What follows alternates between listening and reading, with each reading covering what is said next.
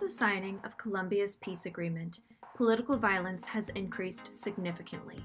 85 massacres took place in 2020 alone.